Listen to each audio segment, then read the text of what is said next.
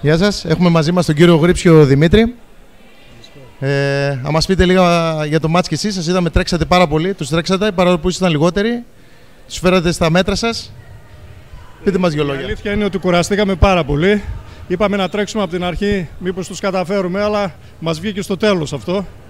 Εντάξει, τέλος καλό, όλα καλά. Κερδίσαμε, το ευχαριστηθήκαμε. Αν και δεν έχει σημασία αν χάσεις ή αν κερδίσεις. Αυτό που λέμε πριν ξεκινήσουμε είναι να φύγουμε όλοι όρθιοι. Αυτό έχει σημασία για μας πλέον σε αυτά τα παιχνίδια. Ερχόμαστε να παίξουμε, το ευχαριστηθούμε και όχι για, για το να κερδίσουμε. Έχετε ξανασυμμετάσχει σε τέτοιες ε, διοργανώσεις. Ε, τι έχετε να πείτε έτσι, για τη φετινή; Επειδή συμμετέχω από το 2006, ε, πηγαίνουμε σε παγκόσμια, πανευρωπαϊκά, με την ομάδα της Θεσσαλονίκης δηλαδή, έχουμε, παίζουμε συνέχεια.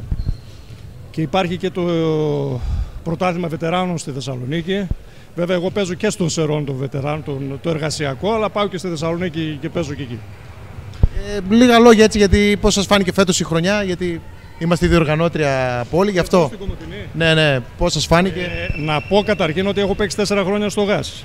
Από το 95 μέχρι το 90, από το 91 μέχρι το 95, συγγνώμη. Τις καλές εποχές. Τις καλές εποχές με coach τον ε, Κούλη Ταξιδάρη, τον ε, Μιχάλη τον Γιαννουζάκο, τον συγχωρεμένο τον Αλέκο τον Καρυπίδη. Είναι το σπίτι μου εδώ, δηλαδή η Κομωτινή είναι η δεύτερη, το δεύτερο σπίτι μου.